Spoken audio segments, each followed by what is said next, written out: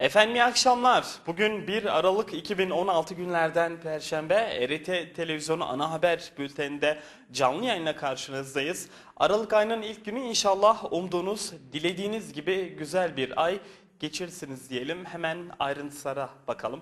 Bu soğuk havalarda Ereğli Belediyesi okullarda öğrencilere sıcak çorba ikram etmeye devam ediyor.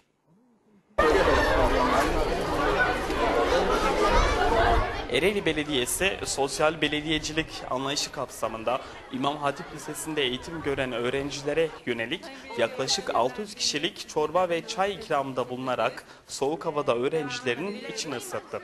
Rutin belediyecilik faaliyetlerinin yanı sıra her alanda vatandaşların yanında olmaya çalıştıklarını söyleyen Belediye Başkanı Özkan Özgüven, gençlere ve öğrencilere yönelik hizmet anlayışına farklı bir boyut kazandırmak düşüncesiyle hareket ettiklerini söyledi her zaman farklı ve yeni işler yapmaya özen gösterdiklerinin altını çizen özgüven, havaların soğuduğu ve kış mevsiminin kendini iyice hissettirdiği bu günlerde özellikle öğrencilerimize sıcak çorba ikramında bulunarak içlerini ısıtmak istedik. Öğrencilerin gösterdikleri ilgi ve alakalar da son derece olumlu. Bu hizmeti ilçemiz genelindeki tüm okullarda yapacağız. Sosyal belediyeciliğin en güzel örneklerini vatandaşlarımız ile buluşturmaya devam edeceğiz dedi.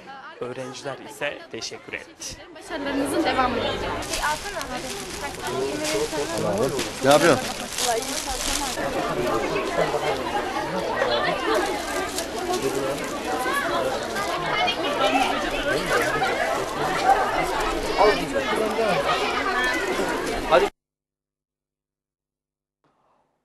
Önemli bir gelişmeyi ekranlarınıza getirmek istiyorum. Bugün resmi gazetede yayınlandı.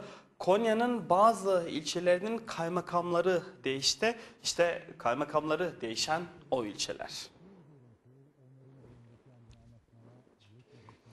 Konya'ya gelen isimler. Edirne Vali Yardımcısı Beyazıt Tanç Konya Vali Yardımcılığına, Seferihisar Kaymakamı Resul Çelik Meram Kaymakamlığına, Odun Pazarı Kaymakamı Abdullah Selim Parlar Karatay Kaymakamlığına, Ankara Gölbaşı Kaymakamı Şahin Arslan Akşehir Kaymakamlığına, Çamlıdere Kaymakamı Aydın Erdoğan Seydişehir Kaymakamlığına, Karaköprü Kaymakamı Mustafa Kutlu Cihanbeyli Kaymakamlığına, İncesu Kaymakamı Tarık Bahadır Sarayönü Kaymakamlığına, Marmara Kaymakamı Yakup Güven Yalıhuyuk Kaymakamlığına, Karaman Vali Yardımcısı Mehmet Uğur Arslan Kulu Kaymakamlığına, Mülkiye Müfettişi Sami Parlak Kulu Konya Valiliği Hukuk Müşavirliğine, Kaymakam adayı Mehmet Güder Akören Kaymakamlığına, Sinop Valiliği Kaymakam adayı Aziz Kayabaşı Derbent Kaymakamlığına,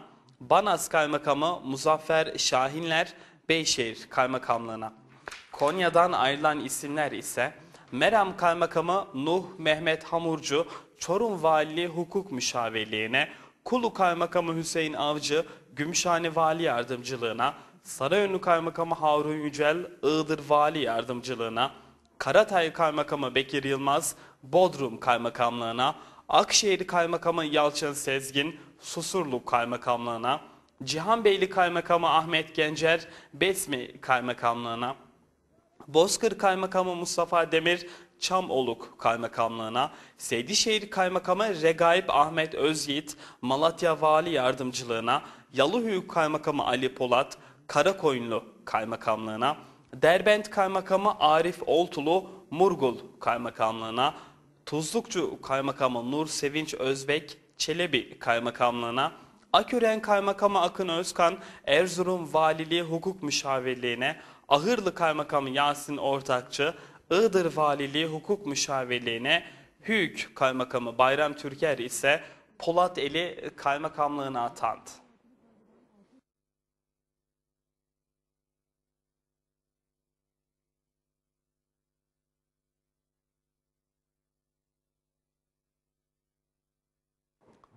Şimdi özel bir haberle devam etmek istiyorum. Aslında geçtiğimiz günlerde bahsettim bu haberi ekranlarınıza taşıyacağız diye.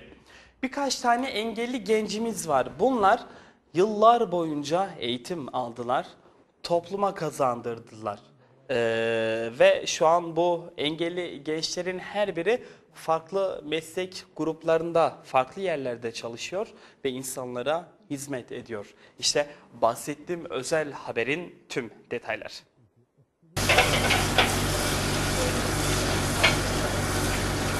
Ereğli'de topluma kazandırılan engelli gençler farklı sektörlerde çalışarak insanlara hizmet ediyor.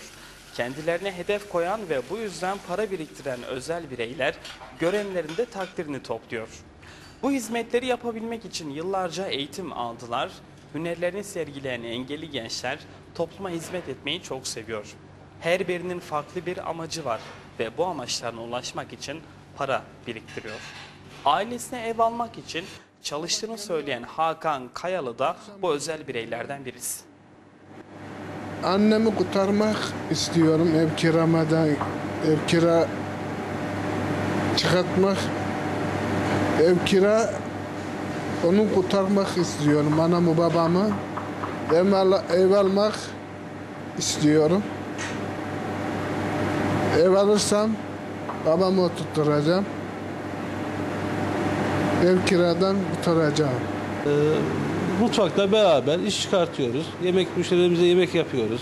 Soğanımızı soyuyoruz, patatesimizi soyuyoruz, salatamızı soyuyoruz. Gördüğünüz, görmüş olduğunuz gibi doğruyoruz birlikte.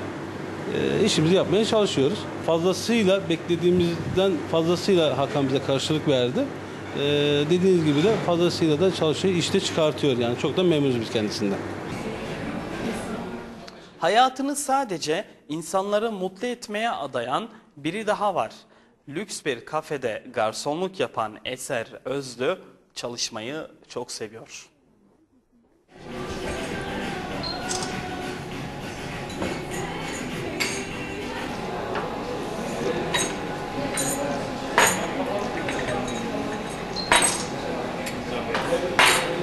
E, elimdeki geldiği kadar yapıyorum yani e, e, e, ne, ne verirse e, ne verirse e, o, o hizmeti yapıyorum ben. E, burada çalışanlarla mutluyum. Tüm arkadaşlarla tanışmadık, e, arkadaşlarla tanıştık. Bir yeni gelenler var. Yeni e, arkadaşlarımıza ilk geldiğimde zaten ilk geldiğimde ya yabancıydım. Yani ilk geldiğimde böyle yani insana yabancıydı böyle so- soğuk gibiydi. O- ondan sonra bir e, yavaş yavaş ısınmaya başladım yavaş yavaş. Ondan sonra böyle kaynaşmak iyi oldu. İnsanlara hizmet etmeyi seviyor musun Eser? Se- seviyorum. Çok seviyorum. Ee, yeter ki onlar mutlu olsun. Mutlu olacak ben mutluyum zaten. Sonuna kadar mutluyum. Eser inanılmaz özverili, düzgün işini yapan, çok düzenli e, biri. Bize çok yardımcı oluyor her konuda. Her dediğimizi yapıyor, uyumlu gayet. Müşterilerimiz de çok seviyor. Memnunuz biz Eser'den, çok seviyoruz.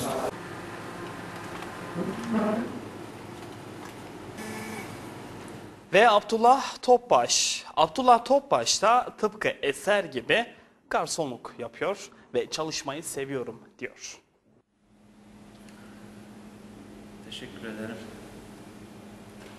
Usta, güzel mi yapayım? Tamam Abdullah, hemen sana güzellerini yap. Tamam Abdullah. Kaç Tamam Abdullah, hemen hazırlayayım.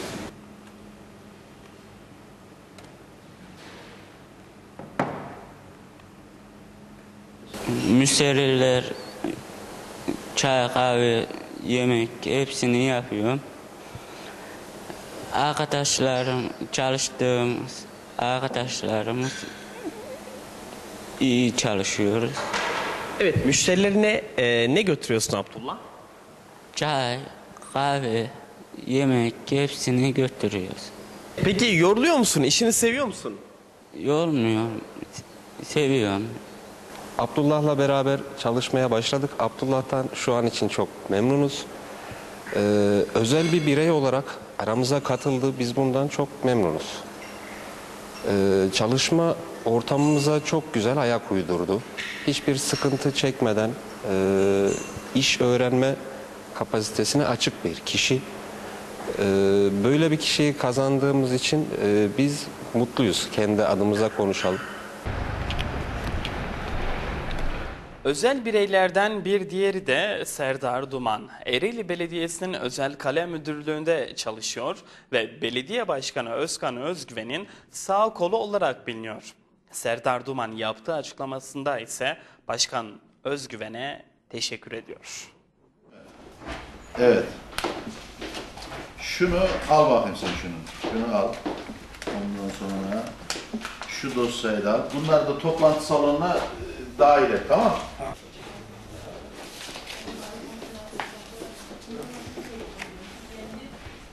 beni benim kalbimi kırmadı. Beni burayı tıktı ve beni sevdi zaten beni çok seviyordur ve de seviyor zaten beni. Belediyeyi çalışmanı istiyordum sağ beni kı- kırmadı. Beni çağırdı. Ben geldim. Evlak ve öbür evlak tehdit Götürüyor. kötülüğü. Ve bu bireylerin yetiştiği yer 2012 yılında Ereğli'de açılan Dam Kafe halka hem lokanta hem de kafe hizmeti sunuyor. Burada sadece engelli bireyler çalışarak topluma kazandırılıyor. Bu bireylerin yetişmesinde büyük emeği olan öğretmen Vefa Demirkıran, mezun olan öğrencilerin farklı sektörlerde işe başladığını vurguladı.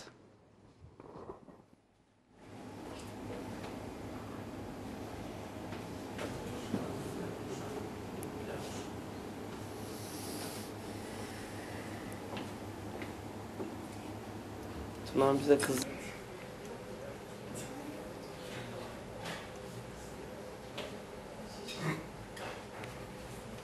Okulumuzdan mezun olan öğrencilerimizin burada 4 yıllık mesleki eğitimleri sonrasında eee, büyük bir eee, kazançla eee, iş yerlerine devam edebilme eee, yeterliliğine eee, kavuştular. Ve eee, ilçemizde en prestijli kafe, restoran ve otellerde çalışmaya başladılar. E, Konya Ereğli bu anlamda e, tüm insanı burada yaşayan e, tüm insanlar büyük bir teveccüh gösteriyorlar. Çocuklarımızı kucakladılar, iş yerleri kucakladı ve çocuklarımızın orada daha iyi hizmet üretebilmesi için iş koçu görevlendirdiler ve iş koçları bizim gençlerimizi orada en iyi şekilde hizmet edebilecek şekilde hazırladılar ve işlerini en iyi şekilde yapabiliyorlar. Burada bizim gençlerimiz engellilerin de bir iş ve meslek sahibi olabileceği, işlerini en iyi şekilde yapabileceklerini e, gösterdiler.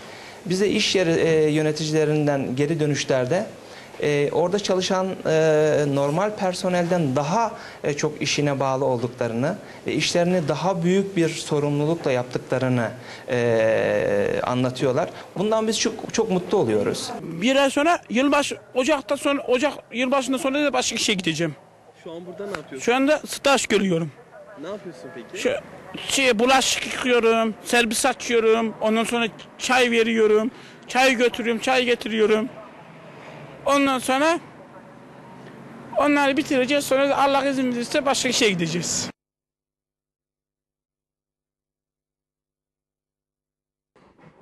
Bu bireylerin hepsi özel birey, konuşan çocuklar. Haberde de belirtildiği gibi hepsi farklı sektörlerde işbaşı yaptı. Halka hizmet ediyorlar.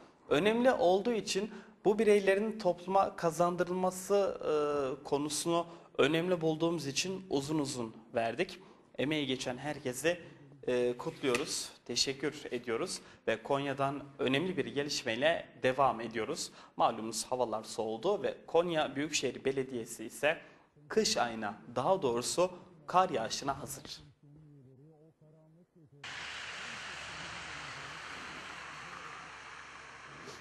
Konya Büyükşehir Belediye Başkanı Tahir Akürek, kış mevsiminde şehir genelinde kar yağışı ve buzlanma nedeniyle vatandaşların günlük hayatının etkilenmemesi için gereken tedbirlerin alındığını söyledi. Kış aylarında şehir merkezinde ve tüm ilçelerde oluşabilecek kar ve buzlanmaya karşı ekiplerin hazır olduğunu belirten Başkan Akürek, Konya merkezde 21 noktada ayrıca yeni büyükşehir yasasıyla merkeze bağlanan mahalle yollarında Fen İşleri Dairesi'ne bağlı 7 bölge şefliğinde kar ve buzlanmaya karşı ekiplerin konuşlandırıldığını ifade etti. Bu merkezlerde kışın 24 saat nöbetçi personel bulundurulduğunu ve ekiplerin hazır bekletildiğini belirten Akgürek, merkezdeki çalışmaların 101 araç ve iş makinesi, 200 personel ile ilçelerdeki çalışmaların ise 231 iş makinesi, 504 personel ile gerçekleştirileceğini söyledi. Ayrıca hava şartlarına göre yaya yürüyüş yollarında kar ve buz temizleme çalışmalarında ise 26 ekipte 566 personelin görev yapacağını belirten Akgürek, Büyükşehir Belediyesi'nin 3000 ton tuz ve 750 ton kar ve buz çözücü solüsyon stoku bulunduğunu, hava şartlarına göre stokun artırılacağını dile getirdi.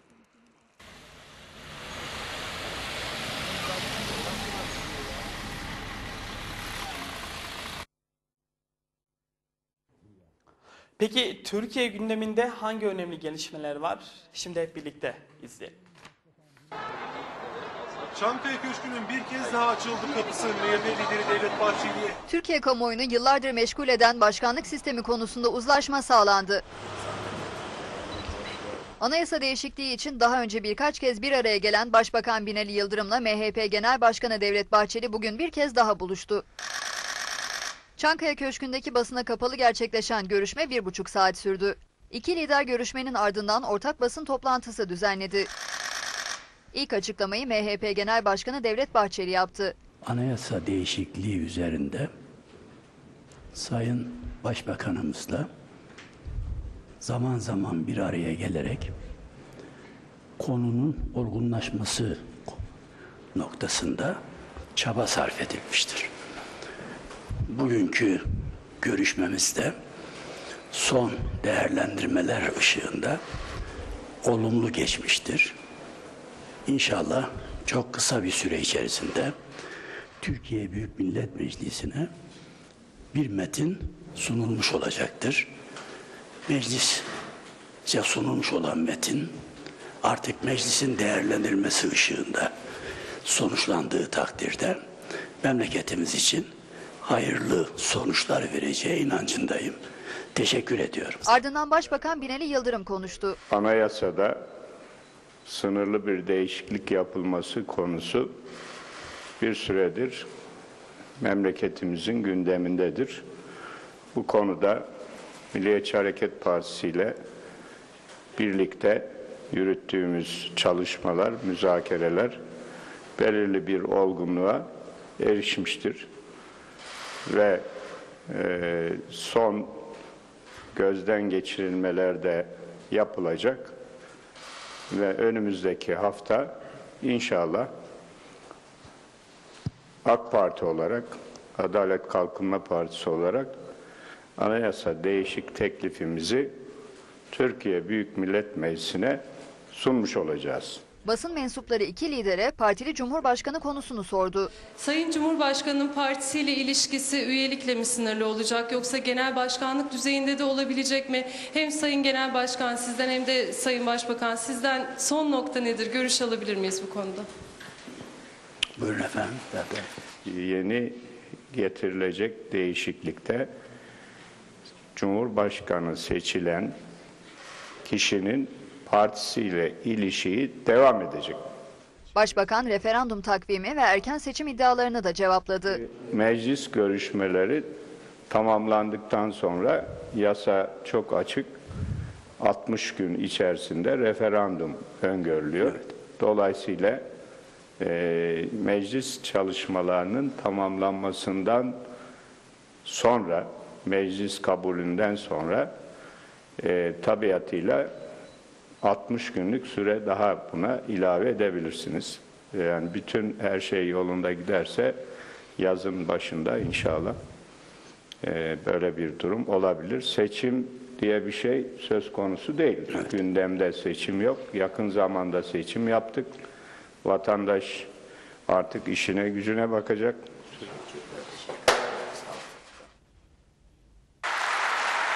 Cumhurbaşkanı Recep Tayyip Erdoğan, Cumhurbaşkanlığı Külliyesi'nde düzenlenen 30. Muhtarlar toplantısında gündeme ilişkin değerlendirmelerde bulundu. Erdoğan, Türkiye'nin Avrupa'da misafir değil, ev sahibi olduğunu kaydetti. Bugün de Trakya'daki şehirlerimizi Balkanlardaki evladı Fatihan soydaşlarımızı, dindaşlarımızı bir kenara koyuyorum. Avrupa genelinde 5 milyon vatandaşımız yaşıyor.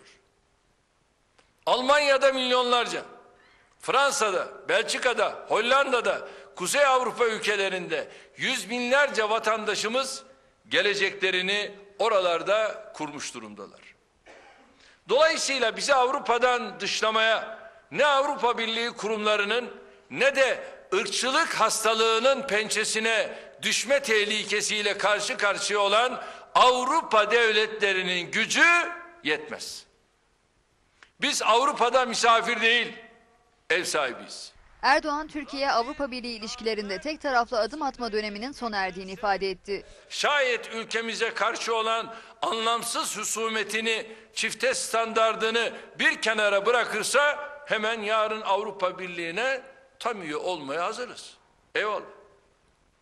Avrupa Birliği ülkemize söz verdiği ama kasıtlı olarak tutmadığı vize serbestisi, mülteciler için toplamda 6 milyar avro yardım, fasılların açılması gibi adımları attığında biz de elbette iyi niyetimizi göstereceğiz.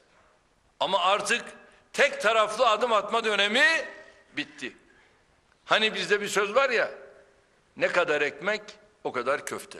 Cumhurbaşkanı Erdoğan, Türkiye'nin Avrupa'nın peşinde koşmayacağının altını çizdi. Avrupa Birliği meselesinde kararı üye ülkelere ve birlik kurumlarına bırakıyoruz. Şayet Avrupa kendi üzerine düşenleri yaparsa biz bugüne kadar verdiğimiz her sözün arkasında dururuz. Aksi takdirde kendileri bilirler. Şimdi biz Avrupa'ya bunu söylüyoruz. Bize ne verirseniz bizden o kadarını alırsınız. Çünkü bizim Avrupa'nın peşinden koşacak sabrımız ve takatımız kalmadı. Cumhurbaşkanlığı Külliyesi'nde düzenlenen ve yaklaşık 6 saat süren Milli Güvenlik Kurulu toplantısı sonrası yapılan açıklamada kamu düzeninin ve vatandaşların huzur ve güvenliğinin sağlanması amacıyla yürütülen faaliyetlerle milli güvenliği tehdit eden diğer gelişmelerin kapsamlı şekilde görüşüldüğü vurgulandı. Bildiride bu çerçevede PKK, FETÖ ve DAEŞ terör örgütleriyle topyekun mücadelenin kararlılıkla sürdürülerek terörün ülke gündeminden çıkartılması konusundaki güçlü iradenin teyit edildiği vurgulandı. Açıklamada bazı ülkelerin PKK ve FETÖ lehine çifte standart uyguladıkları, mensup ve destekçilerine kol kanat gerdikleri, bunları maksatlı olarak farklı şekilde tanımladıkları vurgulanarak bu ülkeler tutumlarını değiştirmeye davet edilmiştir değerlendirmesi yapıldı. Fırat Kalkan Harekatı'nın temel hedefinin hudut güvenliğinin sağlanması, Türkiye'ye yönelik saldırıların önlenmesi, DAEŞ ve diğer terör örgütlerinin bölgeden tamamen temizlenmesi olduğunun bir kez daha belirtildiği aktarılan bildiride, Suriye'nin toprak bütünlüğü esas olmak üzere kardeş Suriye halkının ve bölgedeki vatandaşlarımızın güvenliği için PKK, PYD, YPG unsurlarının terör koridoru oluşturma hedeflerine izin verilmeyeceği vurgulanmıştır ifadesine yer verildi. MGK bildirisinde uluslararası topluma Halep'te devam eden insanlık trajedisini sona erdirme konusunda her türlü girişimde bulunma çağrısı yapıldığına da işaret edildi. Bildiride devam eden Musul operasyonu hakkında Milli Güvenlik Kurulu'na bilgi sunulduğu aktarılarak Musul ve Tel Afer başta olmak üzere bölgenin demografik yapısının muhakkak muhafaza edilmesi gerektiği, aksi takdirde yaşanabileceklerin yeni bir insanlık dramına sebep olacağının belirtildiği ifade edildi. Cumhurbaşkanı Recep Tayyip Erdoğan ve Rus lider Vladimir Putin 3. telefon görüşmesini yaptı. Gündem yine aynıydı. Halep'te hiç susmayan bombalar ve bir türlü yardımların yeterli olmaması. İki liderin son bir hafta içindeki üçüncü görüşmesinde Halep'te yaşanan insani kriz ele alındı ve çatışmaların durdurulabilmesi için neler yapılabileceği görüşüldü İkili, kentteki sivillere insani yardımların ulaştırılmasını sağlamaya yönelik çabaların hızlandırılması noktasında yoğunlaştı. Görüşmenin bir diğer gündem maddesi ise Rusya-Türkiye ikili ilişkileri oldu. Bu Bu konuyla ilgili Kremlin'den de açıklama yapıldı. Açıklamada görüşmede önümüzdeki zamanda çeşitli düzeyde yapılacak ikili temaslar dahil Rus-Türk ilişkilerinin güncel konuları ele alındı denildi. Мы знаем, что вы стоите на пороге Kremlin Putin'in ayrıca Adana'daki yurt yangınında çocukların ölümü nedeniyle taziye dileklerini ilettiğini aktardı. Rusya Dışişleri Bakanı Sergey Lavrov'un Antalya ziyareti ve Başbakan Binali Yıldırım'ın 6 Aralık'ta Moskova'ya yapacağı ziyarete de değinildi. Rusya Dışişleri Bakanı Lavrov Antalya'ya geldi.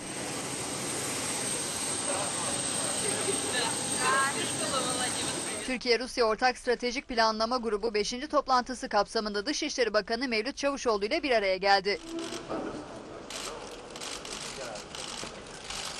Rusya Dışişleri Bakanı Lavrov görüşmenin ardından Türk Silahlı Kuvvetleri'ne yönelik 24 Kasım'da Suriye'de düzenlenen hava saldırısıyla ilgili konuştu. Lavrov, bizim Rusya olarak bununla hiçbir ilgimiz yoktur. Bu Suriye'nin silahlı kuvvetleri tarafından yapılan bir saldırıdır dedi. Ardından çeviride bir hata yapıldığı belirtilerek açıklamada düzeltme yapıldı. Türkiye'yi Suriye vurdu sözleri saldırıyı ne Rusya ne Suriye yapmıştır şeklinde düzeltildi. Rusya Dışişleri Bakanı, Cumhurbaşkanı Erdoğan'ın Suriye'ye Esad'ın hükümdarlığına son vermek için girdik şeklindeki açıklamasıyla ilgili de konuştu. Rusya olarak sadece anlaşmalarımız çerçevesinde devam edeceğiz. Suriye'ye barış için işbirliğine devam edeceğiz dedi. İkinin gündeminde Halep de vardı. Halep'i teröristlerden kurtaracağız açıklaması yapıldı. Suriye'deki durum ortada. Halep maalesef siviller ölüyor. Gö- gözyaşı var. Ama tüm Suriye'de Halep başta olmak üzere ateşkes sağlanması lazım. Ve insani yardımların ulaştırılması lazım. En iyi çözüm siyasi çözümdür. Siyasi çözüm konusunda da Suriye'nin toprak bütünlüğü ve birliği konusunda Rusya ile ortak anlayışımız var. Dışişleri Bakanı Çavuşoğlu da Esad konusunda duruşumuz belli. Bizim Fırat Kalkanı ile hedefimiz bölgeyi terör unsurlarından temizlemek dedi. Türkiye'nin Fırat Kalkanı e, operasyonunun yani e, yerel güçlerle devam ettirdiği operasyonun amacı son derece nettir. Biz bu bölgeyi DAEŞ terör örgütünden temizlemek istiyoruz. Esasen Irak ve Suriye'den DAEŞ'in tamamen temizlenmesi gerekiyor. Çavuşoğlu beklentinin her türlü ürünün önündeki engelin kaldırılması olduğunu söyledi. Ee, Rusya bu konuda bazı adımlar attı. Bazı engelleri kaldırdı. Beklentimiz özellikle bizim Antalya'mızda da üretilen tarım ürünleri başta olmak üzere her türlü ürünün önündeki enge- engelleri kaldırmak. Dışişleri Bakanı Çavuşoğlu vizelerin tamamen kaldırılmasını da umut ediyoruz dedi. Biz esasen bugün de söylediğimiz gibi e, vizelerin tamamen kaldırılmasını arzu ediyoruz ve Rusya vatandaşlarının da pasaporta bile ihtiyaç duymadan kimlikle gelmelerini istiyoruz.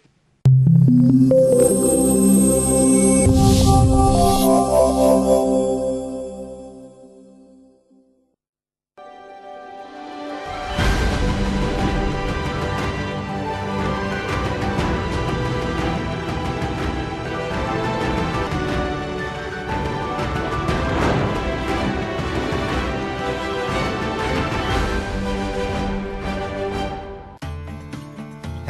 günkü gibi yine aynı sözle açıldı dükkanlar. Vitrin tozlarından arınırken esnaflık ruhu da hep olduğu gibi bugün de tertemiz kaldı. Ahiliktir bizim geleneğimiz. Esnaflık da, insanlık da budur dercesine siftah yapamayan dükkan komşusuna gönderildi yeni müşteriler. Çıraklar bugün de yine para üzerine unutan müşterinin peşinden hiç usanmadan koşturdu. İskemleler dükkanın önüne koyuldu, tarihi camilerde yine ön safların yolu tutuldu. Ve cami çıkışı, çaylar yine muhabbetle yudumlandı. Burası, asırlardır bizden olan, bizi yansıtan ahilik ve alışveriş kültürünün yaşatıldığı tarihi Bedesten Çarşısı. Tarihi Bedesten Çarşısı'nda ahilik ruhu aynı kalırken 519 bina, 2687 dükkan yenilendi. Bedesten Çarşısı yenilenen yüzüyle sizleri bekliyor. Konya Büyükşehir Belediyesi Ereğli Belediyesi'nden satılık ticari arsalar.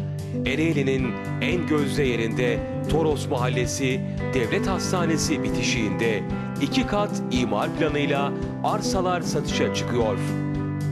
Alanlar çok mutlu. Bu fırsat kaçmaz. Siz de gözde olan bu yerde arsa almak istiyorsanız son gün 29 Kasım. Geniş bilgi için Ereğli Belediyesi ve www.ereğli.ben.tr'den bilgi alabilirsiniz.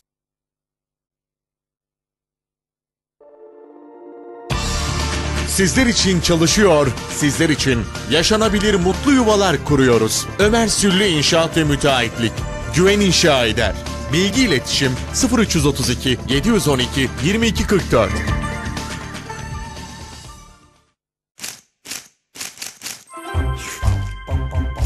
Resto, organik meyveden yapılan nefis dondurma Resto. Kendi imalatımız bal badem, frambuaz, ahududu, karadutlu Resto, antep fıstıklı, çikolatalı, sade ve meyveli dondurma Resto. Gösterişli sunumuyla sağlık deposu Resto dondurma. Sadece Resto'da. Önce Mehmet'i süzdük. Geceleri atıştırmak için lezzetli bir şeyler aradığını çözdük. Buse Naz'ı da süzdük. Neden kahvaltı masasına bir türlü oturmadığını çözdük. Sonra Meltem'i süzdük. Tariflerinde neyin eksik olduğunu çözdük. Gördüğünüz gibi biz bir peynirden çok daha fazlasını süzdük. Aradığınız peynirin sırrını çözdük. Taptaze sütten nefis Torku süzme peynir. Torku, e doğal olarak bizden. Zamanın ruhunu, yapılardaki değişimi ve yeni yaşam konforunu öngörerek tecrübe ve teknolojinin uyumuyla Fıratbe'nin en estetik, en güçlü profilini tasarladık. Selenit.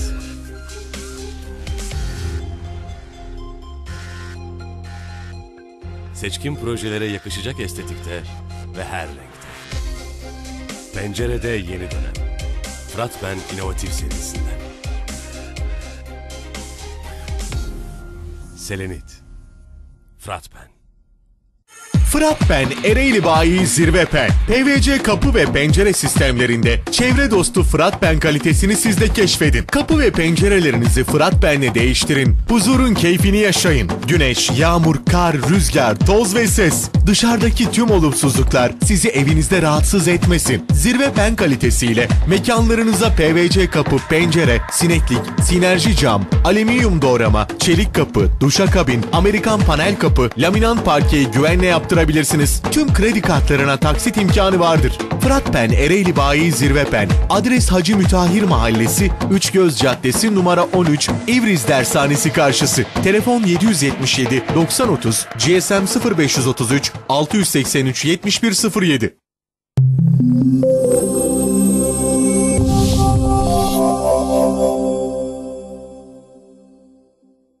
Zirai mücadele ilaçları, tohum ve makine bayi Tunç Tarım. Adres Hal Yokuşu, Aköyük Çiller Sulama Birliği altında.